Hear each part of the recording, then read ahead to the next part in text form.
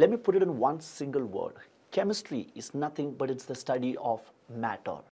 Chemistry is the study of matter. For example, if I am a chemist and if you give me any matter, what would I like to do with that matter is the first thing I would like to study what is present in that matter means what are the composition of that matter. Okay, this matter, does it contain carbon or does it contain nitrogen or does it contain oxygen? So I being a chemist, the first thing what I'll do is I'll study the composition. Now, after studying the composition, the next thing what I would like to do, being a chemist is people, I would like to study their structure. Okay, carbon present here, nitrogen present here, oxygen present here. How are they bonded to each other? If they're bonded to each other, then what is the structure? So, chemistry is nothing but it's a study of composition, it is a study of structure, and after studying the composition and the structure, the third thing what I would like to study about that matter is I would like to study their properties. Now, when I say properties, any properties like uh, melting point, boiling point, density, viscosity and all that stuff. Okay, so chemistry is nothing but it's a study of composition, it is a study of structure, it is a study of properties and after studying all these three what is the last thing I would like to do is I would like to study their uses. Okay, jobi matter hai malum pad. Now where can I use this matter?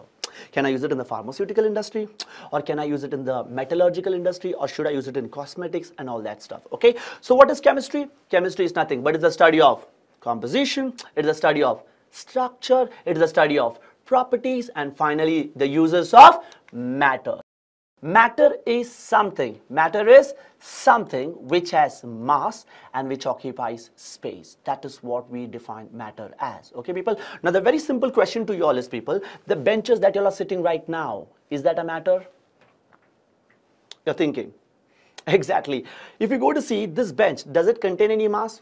Obviously. Does it occupy any space? Very obvious. So it is obviously a matter. Okay. Now, so if you go to see cars, planes, trains, buses, are they matter? The answer is yes. Again, pay attention. Am I a matter? Am I a matter? Exactly. Do I weigh something? Yes, I definitely weigh 65 in kg. Well, do I occupy any space? I definitely occupy one square foot of this universe. So I am obviously a matter. Okay, people? And this matter can exist in the form of a solid, liquid and gas. So please remember people, it is very important to know what is matter and it is even more important to know the various physical states the matter is existing in. In fact, that is what we'll be doing in this chapter because the name of the chapter that I'm teaching you itself is called as states of matter. So when I say these three are the fundamental states of matter means do I have any other states of matter?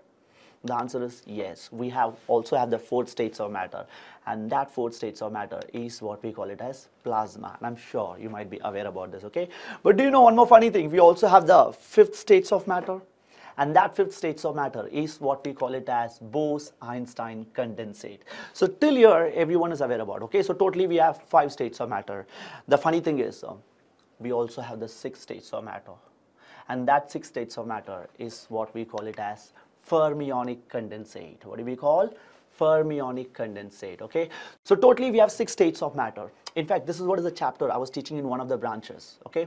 Now, when I was teaching this, when I was giving them this information, one smart girl from the group got up and she said, so you're talking about the six states of matter? we already have the seven states of matter. In fact, she told me that the seven states of matter is quark condensate. Okay, and again, I was teaching in one more branch, and there one more guy got up and he said, Sir, seven states of matter is an old story. He said there is also eight states of matter, and he called that eight states of matter as thought wave. I have to personally admit that I haven't read about the last two states of matter very clearly. So, if at all I have to talk about, there are so many states of matter, but if you talk about uh, the fundamental states of matter, it's only solid, liquid and gas.